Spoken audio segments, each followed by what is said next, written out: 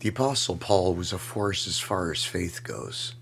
On the road to Damascus to persecute Christians, Paul met Jesus face to face, and he got saved. Paul did whatever was asked of him by the Lord, and he spread the gospel to the Gentiles. Paul was a highly educated Pharisee and was viewed as a turncoat and heretic by the Jewish religious leaders. These were Paul's former companions. Paul endured stonings, beatings, and arrests for his faith and his preaching of Yeshua as the Hamashiach.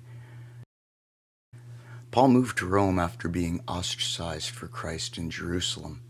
Acts 28 30 and 31. Then Paul dwelt two whole years in his own rented house and received all who came to him, preaching the kingdom of God and teaching the things which concern the Lord Jesus Christ with all confidence, no one forbidding him.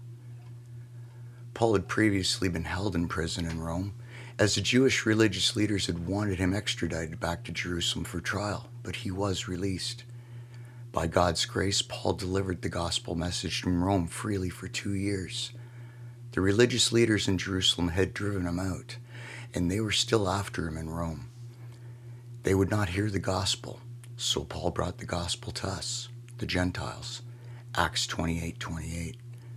Therefore, let it be known to you that the salvation of God has been sent to the Gentiles, and they will hear it. On the 18th of July, 64 AD, a massive fire broke out in Rome and destroyed 10 of its 14 districts.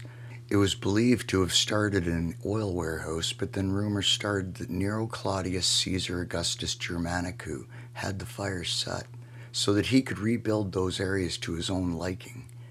Nero tried to suffocate the rumors, but they continued to spread, so he looked for a scapegoat Christians. As recorded in the historical book The Annals by Tacitus in 109 AD. But all human efforts, all the lavish gifts of the emperor, and the propitiations of the gods did not banish the sinister belief that the conflagration was the result of an order Consequently, to get rid of the report, Nero fastened the guilt and inflicted the most exquisite tortures on a class hated for their abominations, called Christians by the populace. Accordingly, an arrest was first made of all who pleaded guilty of being Christians. Then, upon their information, an immense multitude was convicted, not so much for the crime of firing the city as of hatred against mankind. On all who pleaded guilty of being Christians, Nero inflicted the most exquisite tortures. Nero ordered horrible executions for Christians in Rome.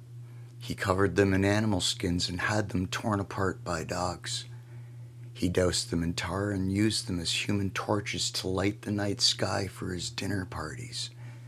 He sent them to the Colosseum to be eaten alive by lions, amongst many other horrible things. Paul was again arrested, this time as the ringleader of the Christians. False charges were brought against him and against his and our Christian brothers and sisters, not only for the burning of Rome, but for hatred against mankind.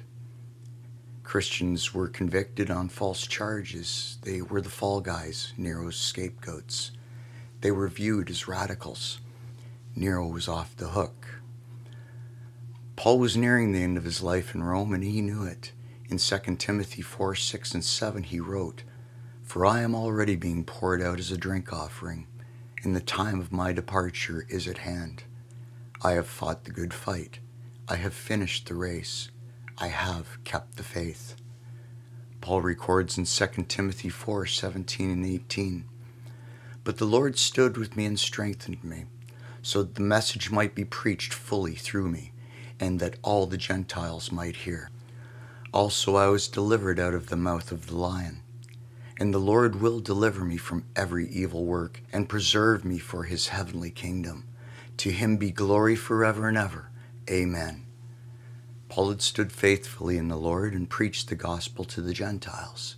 He had suffered many things, and in his letters to the churches he often wrote about rejoicing in his suffering for the gospel. I am grateful to the Lord for Paul's ministry. I feel that Jesus Christ made an exceptional choice with Paul.